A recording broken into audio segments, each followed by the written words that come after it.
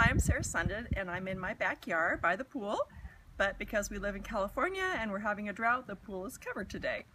I'm drinking iced green tea with passion fruit.